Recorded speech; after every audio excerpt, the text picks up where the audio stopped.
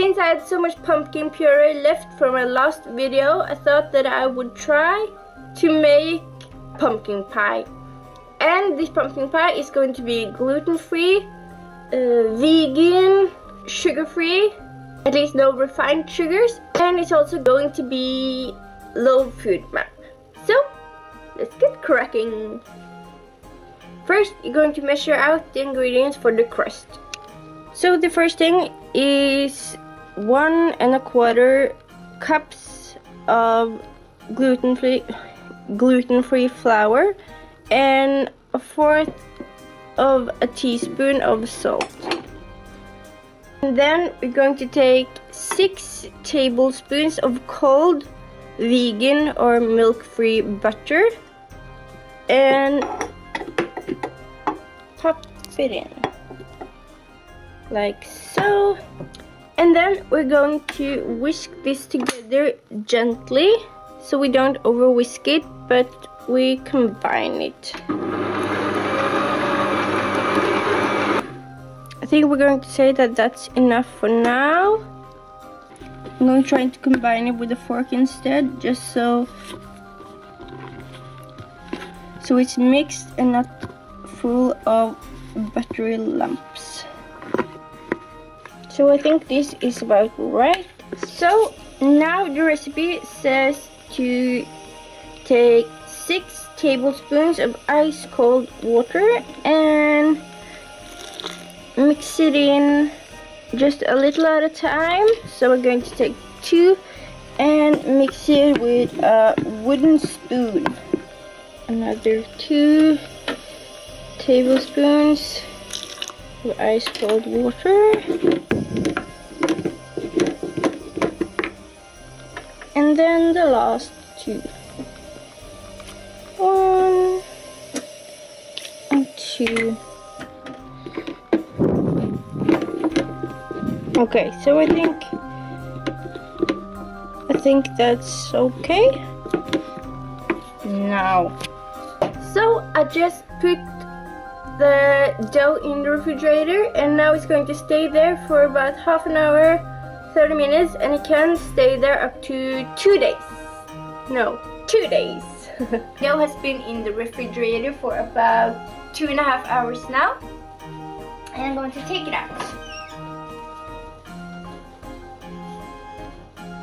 I've actually never made a pie before so this is going to be a oh no! I gotta square one of these. Oh no. I made my dough into a circle and was going to square. Alright. So this so the dough is going to go here and warm up a little bit. now we're going to preheat our oven to about 175 degrees Celsius. 175. And that's 350 degrees Fahrenheit. Now we're going to make the filling. These are the ingredients you're going to need for the filling. You're going to need uh, pumpkin puree. This is leftover pumpkin puree that I made a couple of days ago for my pumpkin spice latte pure maple syrup, cornstarch, melted coconut oil, coconut sugar, some salt, unsweetened soy milk, and for the pumpkin spices, going to need cinnamon, ginger, cloves, and nutmeg. Okay, so then we're just going to mix all the ingredients and I'm going to use one of these I'm just going to use one of these hand mixers. First, you're going to take two and three quarters of pumpkin pumpkin puree.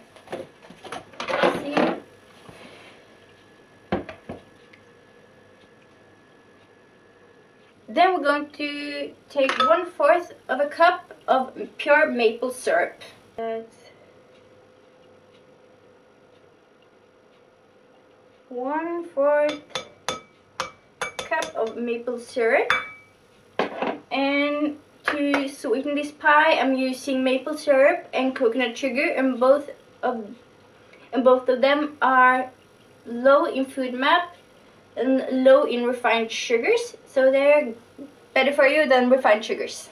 Then we're going to take equally as much of coconut sugar, a fourth of a cup, and it goes.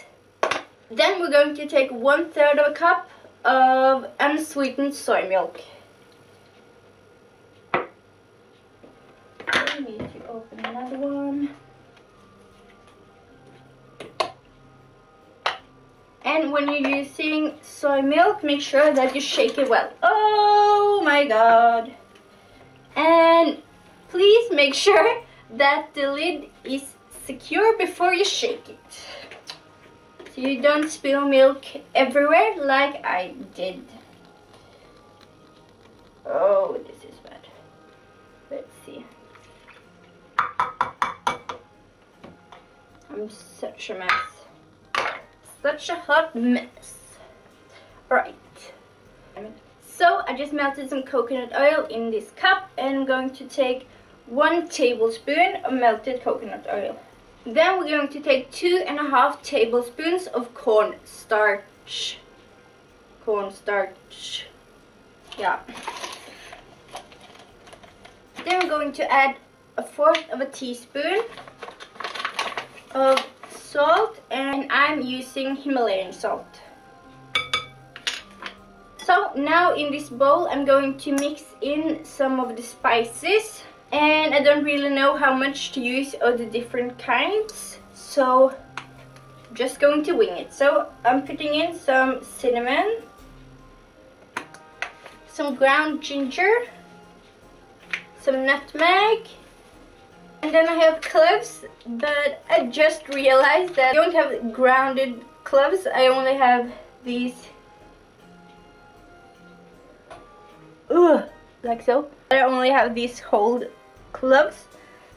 So I'm going to try to ground them myself in my my smoothie blender. Let's see how this one goes. Right. That actually kind of worked. Here you have my pumpkin spices. I'm going to take one and three quarters a teaspoon of my pumpkin spices. no, never mind. I'm going to take two teaspoons of the spices. So just making sure that these are mixed. This is what the mixture looks like right now. So all that remains now is to whisk it all up together now the recipe says to put your dough between two pieces of wax paper, but I don't have wax paper, so I'm going to attempt at using aluminum foil. So I'm going to take it out of the plastic. So I actually don't have a rolling pin either. So oh, I don't know what to do. Going to attempt at using this one as a rolling pin. So my pie pan is actually a square one. So I'm just going to try to attempt at making a pie dough this size. Oh my god. Okay, so now you can see. So I'm just going to try to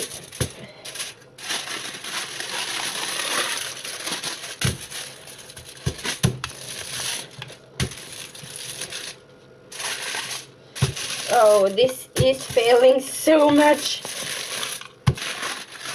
I can't be bothered to try anymore. So I'm going to take off the top, take off the top layer.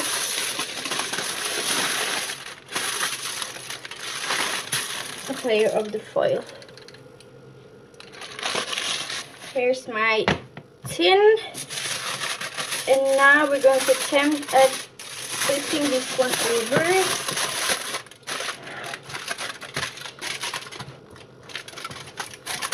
I'm just going to try and pull it out to the sides. Oh, now I'm going to attempt at removing this foil as well. So, since this is gluten-free, it's a bit sticky, so I'm just taking a cup of water so that I can try to remove it without ruining the pie too much. Okay.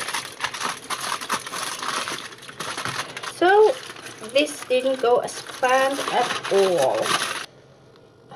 God damn it! So there's loads of pie stuck to my tin foil. Aluminum foil. So, with some more water on my hands, I'm going to try and scrape off the remaining dough. This kind of looks like a disaster right now. But with some more water on my hands, I'm going to try and push it out to the sides and push it up the edge.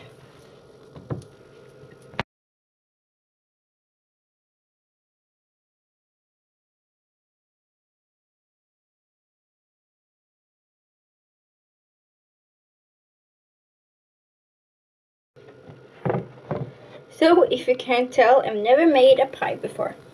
This is the best I could do. So, yeah. Now, we're going to pour in the pie filling. Oops. Delicious.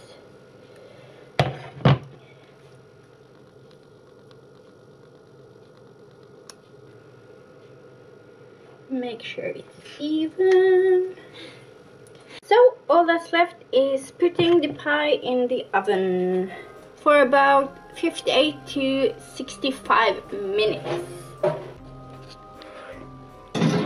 In it goes. So this is my finished pie. It's still a bit warm, so as you can see, all my whipped cream is melting.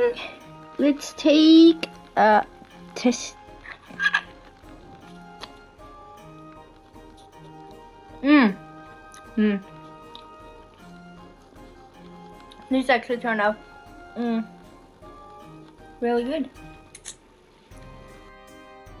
So this is what it looks like all cooled down.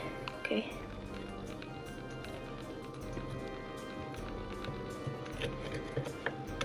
Ooh. Torsby.